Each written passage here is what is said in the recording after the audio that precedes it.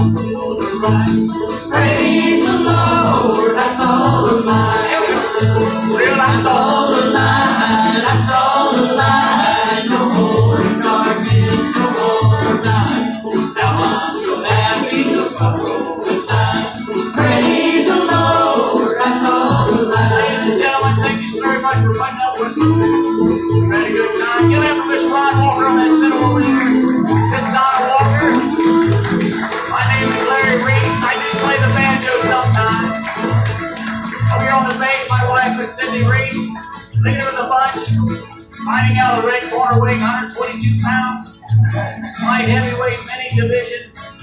Mr. John Wilce, we are the Crossroads fan. Come on, we need all the help we can get. Can we saying. Are you going to help us, sing?